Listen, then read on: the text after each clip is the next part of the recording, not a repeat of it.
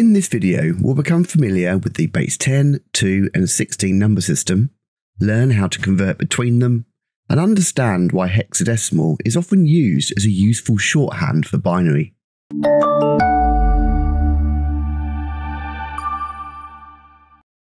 At A level, you need to be aware of three different base number systems. Base 2, binary, base 10, decimal, or sometimes called denary, and base 16, hexadecimal. Let's start with the most well known of these, base 10, decimal. This is the number system you are most familiar with. You've used it ever since you first learned to count. It contains just 10 unique digits, from 0 to 9. Why do you think our number system evolved in this way? Well, no one actually really knows the answer, but it probably has something to do with the fact that we have a total of 10 fingers and thumbs. The decimal system has no unique digit for the number 10. We have to put a 1 and a 0 together. Here we see a base 10 number line. On the far right, we have the lowest weighted column, that's our ones. As we move to the left, we see that the weightings of the columns times is by 10. So the second column is a tens column, then a hundreds, then a thousands. We can see the number here, 0010, is naught lots of thousands plus naught one hundreds plus one lot of tens plus naught ones. So that's 10. We can write a more complicated number out, 4273. We understand that that's 4 lots of a thousand, plus 2 lots of a hundred, plus 7 lots of 10, plus 3 lots of 1. 4,273. Now, of course, we don't have to do this mental maths in our head we've become so familiar with this number system that we see 4273 and we instantly read 4273.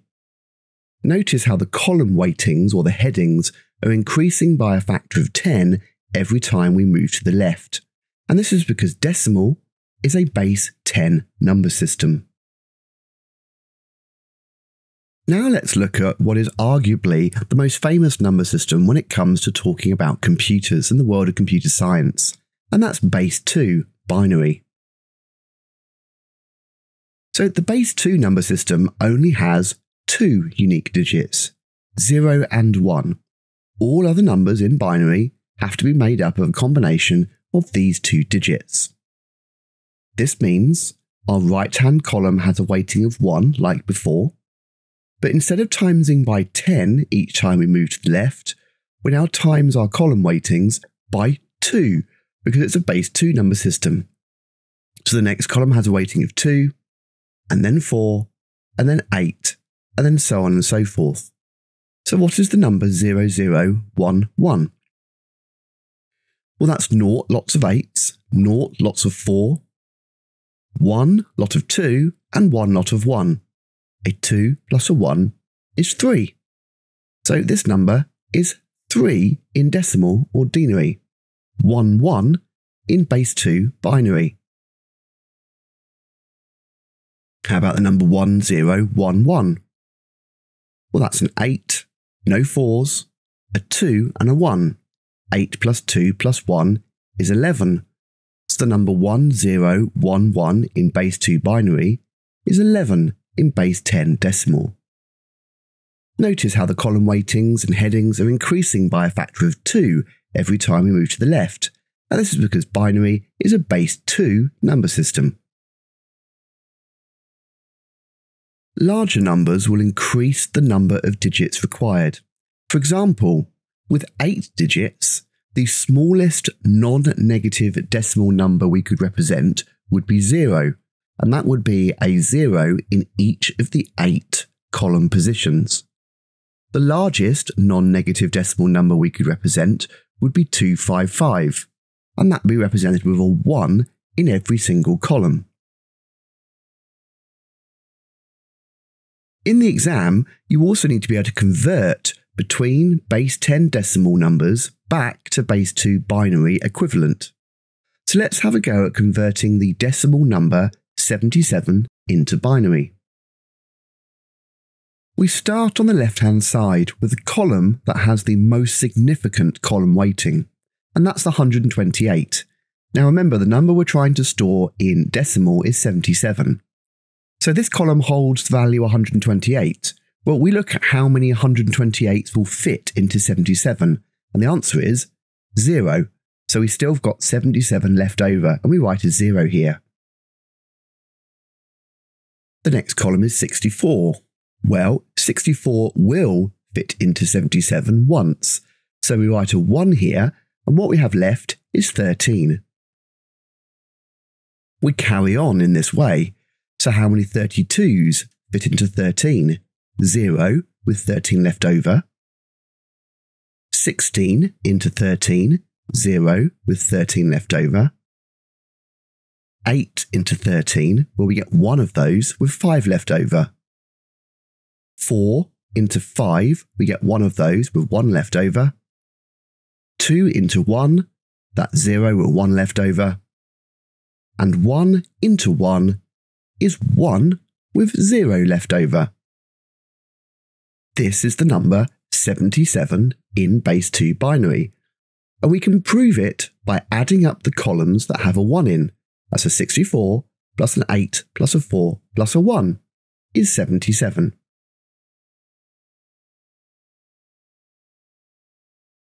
Finally, let's look at the base 16 hexadecimal number system.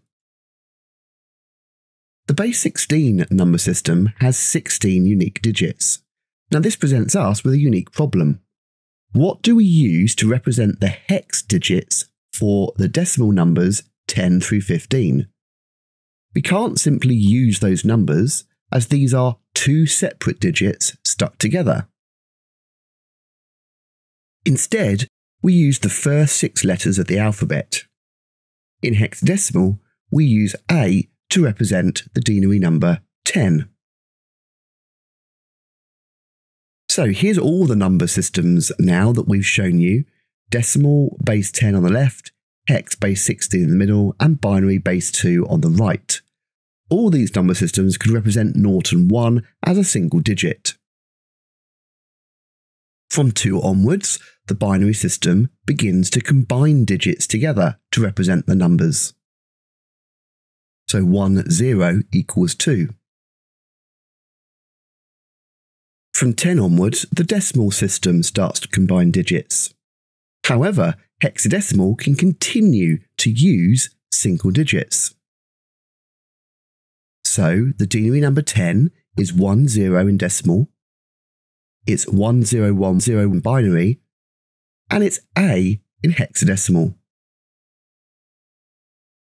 This continues until we get to the number 15, which is 1 5 in decimal, F in hex, and then 1111 in binary.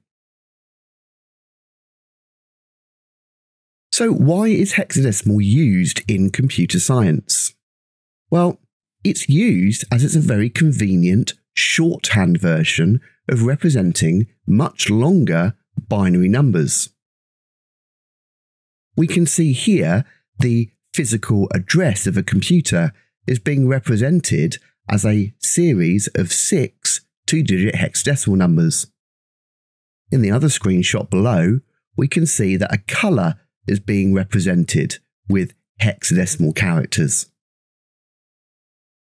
We can see from the table on the right that a single hexadecimal character represents a sequence of four binary characters. So if we take our physical address 1831BF6B4CB3, now that's being represented in hexadecimal base 16, you can see how much longer that physical address would be if we had to represent it in its pure base 2 binary form. A similar way for the colour being represented in the bottom screenshot, it's only six digits. But we would have to use 24 binary digits if we represented it in base 2. So hexadecimal can be used as a convenient shorthand for representing much longer sequences of binary digits. Now we've introduced the three base number systems you need to know about for computer science, we need to become familiar with easily converting between any of them to any other form in the exam. The above table allows you to easily convert positive integers between any of the three base number systems you need. Once you're familiar with the process, you'll be able to do away with the table and just convert them by hand. So let's convert the decimal number 12 into hexadecimal. To make things easier, we're going to convert it to binary first. So remember a 12 would be a 1 in an 8 column and a 1 in a 4 column. Now we can pad the other numbers out with 0 in the binary column. Now we can move on to the hex. Well, what we do is we group the hex into 4 bit nibbles and then apply a mini binary weighting line. Well, the first section is easy. We've got four zeros in binary. Obviously, will be a zero in hex, so we just can write zero down. The next four binary digits, we have a 1 in the 8 column, a 1 in the 4 column. 8 plus 4 is 12.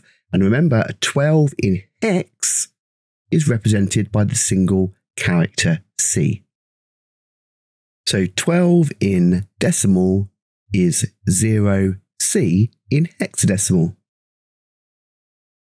Okay, let's try 24 this time in decimal. So we start by putting it into binary. 24 in decimal in base 2 binary would be a 16 plus an 8. 16 plus 8 is 24. We put ones in those columns and zeros in all the others.